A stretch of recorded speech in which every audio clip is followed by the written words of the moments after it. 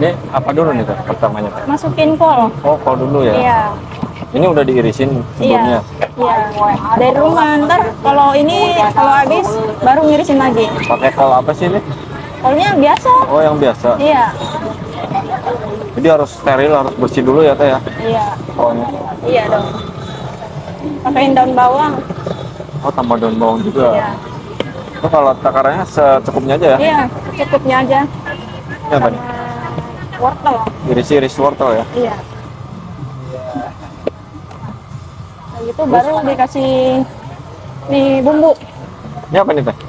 Ini micin. Oh micin. Iya. Jadi jangan banyak-banyak ya teh ya. Enggak emang dikit. Oh dikit aja Sama ya. ini eh, Royco. Eko. Baru dipakein telur. Telurnya pakai telur ayam ya. Iya telur ayam. Ini mau bikin berapa porsi nih teh? Ini dua porsi. Satu Dua teko porsi. biasanya jadi dua porsi. Telurnya berapa? Telurnya tiga. Tiga ya. Iya.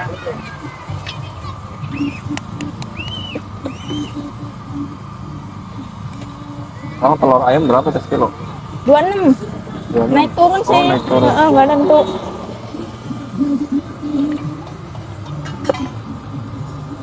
Ini kalau adonan gini kuat berapa lama teh?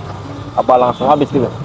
Biasanya sih eh, langsung habis. Langsung habis, ya? Nah, Kalau dilama-lamain dia takut cair. Makanya bikinnya dua porsi dua porsi, nggak banyak-banyak. Soalnya kalau cair ntar digorengnya hancur. Ini kalau boleh tahu namanya siapa nih teh? Eh, teh lili, Teh Billy ya. ya Jualan di mana nih teh? di Cipes, Cipes, pasar malam ya. pasar malam Cipes. Ini semangat banget nih ngaduknya nih. Iya. Terinspirasi dari mana sih ini?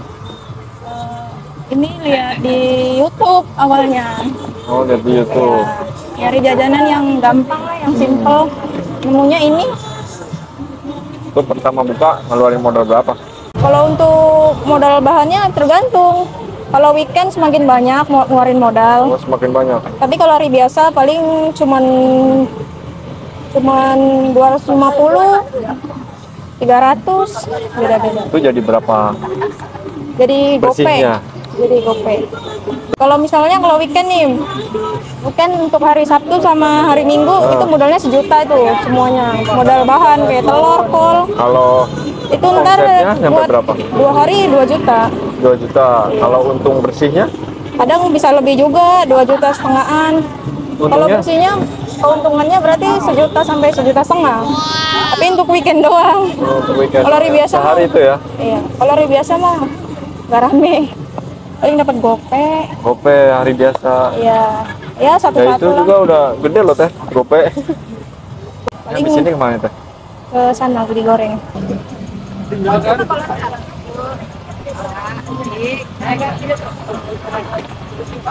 Ini cetakannya teh ya. Iya. tinggalin tinggalin tinggalin Isi berapa lubang sih? Isinya ada dua empat 24. Iya. Kalau satu lubang harganya seribu. seribuan ya. Iya. Kami jualan pasti ngutamainnya rasa.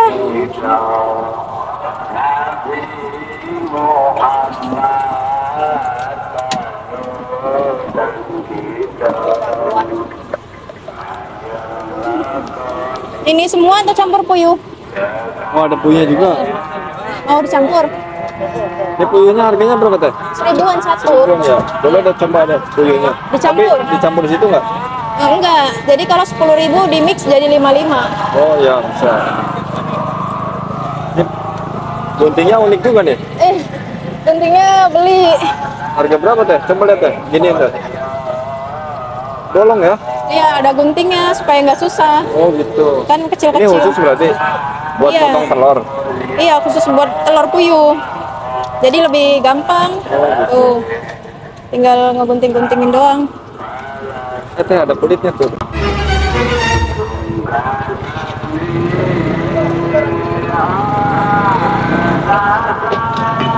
Jadi praktis ya pakai gunting ini ya. Iya. Harganya berapa teh? Eh, berapa ya kemarin beli? Ini tetehnya jualan juga nggak guntingnya? Kenapa? Guntingnya dijual nggak? Ini guntingnya nggak dijual. Ntar saya gimana ngeguntinginnya?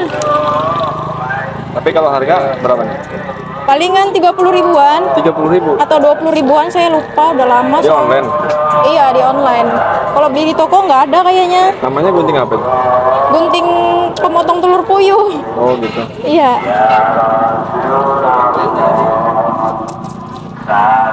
Satu lubang satu telur nggak rugi nih teh. Kenapa Nggak rugi satu lubang satu telur. insya Allah nggak Udah diperhitungkan ya. iya udah diperhitungkan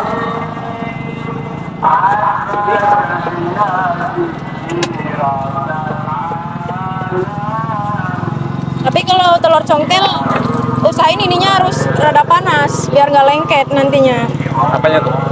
wajannya harus rada panas Oh wajannya. Eh, kalau telur congkel yang sayur kalau yang puyuh nggak apa-apa sih nggak lengket ini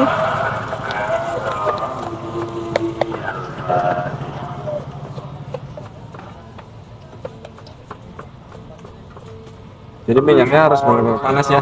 iya Ini kalau boleh tahu omset terbesar satu hari dapat berapa deh? satu hari satu juta tiga ratusan satu juta setengahan itu udah nggak bisa duduk Nggak bisa Terus itu, duduk jualan? uh, itu bertiga segitu Bertiga ya. kalau weekend bertiga Oh gitu. Berdua nggak kepegang soalnya kan ini callnya suka dadakan suka nyacakin dadakan jadi harus bertiga tuh Jadi segitu ada udah yang nyacak, ada yang iya ada yang nyetak ya? ngadonin ada yang nyetakin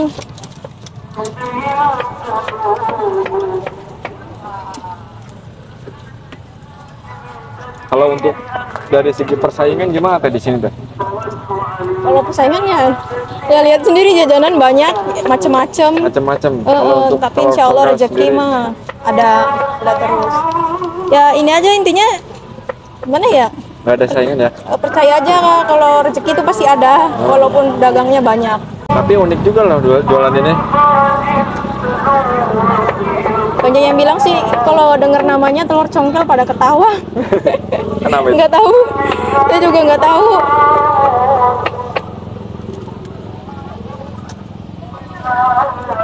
Kan dicongkel-congkel bikinnya ya. iya kan di kayak dicongkel gitu Itunya aja unik sekopnya itu. Kenapa? Se- Sendoknya itu unik tuh.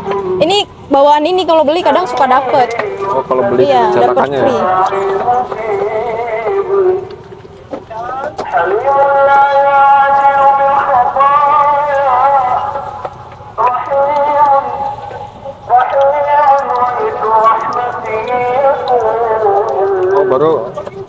terpisah itu apa gimana sih? iya gini satuan Oh satuan. iya Gak dicampur sayur telurnya ya? Jadi yang nggak suka sayur bisa pilih puyuh.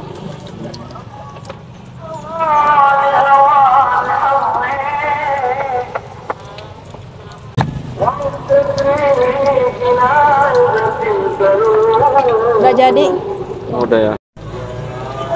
Oh ada toppingnya juga teh? Kenapa? Ada toppingnya ya? Ada. Apa aja nih toppingnya? Ada saus pedas, mayones, saus tomat, kecap sama bumbu kering. Best seller apa biasanya? Saus mayo. Saus mayo Saus ya? pedas.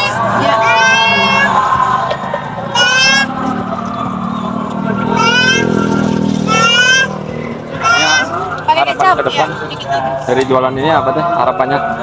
Harapannya buka cabang lagi. Buat semua lagi ya. Teh kalau jualannya biar lancar itu tipsnya gimana sih teh? Jualannya biar lancar. Hmm. Kalau lancar atau enggaknya itu ya udah kehendak kehendak Tuhan, tapi supaya kita narik pembeli ya palingan kayak gimana ya sering kadang-kadang ditambahin suka kalau ada yang beli banyak kadang suka ditambahin Oh biar eh, eh, biar yang beli juga seneng gitu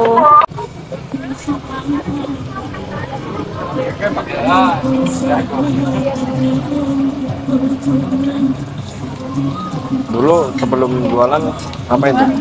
iya terus sebelum jualan kuliah Kuliah. iya Ambil fakultas apa? kebidanan Kebidanan. iya Kenapa mem- memilih jualan ini? Eh, nggak tahu juga saya mas karena tahu. covid kali Oh, ya karena Covid. iya Terus udah jalannya lah begini berhenti gitu ya? berhenti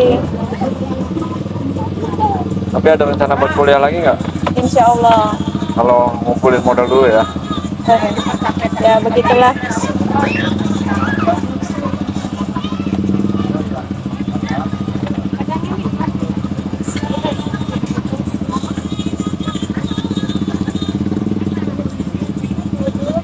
Kalau matang berapa menit teh? 5 menitan. 5 menit? Iya. Kurang lebih 5 menitan. Bisa tisu ya ya silakan Dulu awal merintis gimana teh ceritanya bisa kejualan ini? awalnya nggak jualan ini Jualan apa? jualan bakso Oh jualan bakso. Iya, pertama kali jualan bakso. Tapi karena terlalu capek, jadi nyari yang simple, nemunya ini. Simple menjanjikan ya teh ya. Insya Allah. Buka dari jam berapa teh? Buka dari jam 4 sampai jam 11. Itu hari biasa. Iya, kalau weekend dari jam setengah 4 sampai jam 12. Oh weekend ya.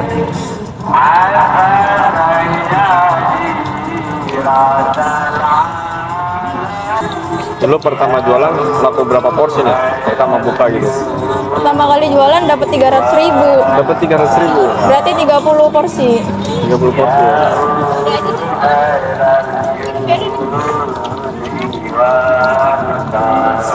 Itu udah senang segitu nggak?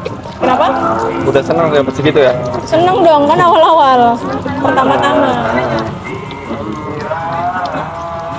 Tapi cabangnya di sini aja, belum ada cabang ya? Kenapa? Belum ada cabang di sini aja.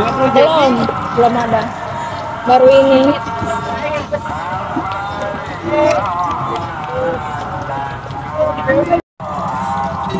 Dulu sempat ragu nggak? Pertama jualan cuma dapat 300 ribu gitu. Ragu sih pasti, cuman ya dijalanin lah. Dijalanin terus. Ke sini ke sini udah alhamdulillah ya. Iya, ke sini ke sini alhamdulillah mulai banyak yang suka. Udah lima bulan kan, udah lama. Sampai sekarang lima bulan. Iya, udah lima bulan. Itu hasilnya udah dapat apa teh jualan ini? Lima bulan. Dapat apa ya? Dapat. Oh, belum ada dapatnya. Buat nabung ya. Ah, buat nabung palingan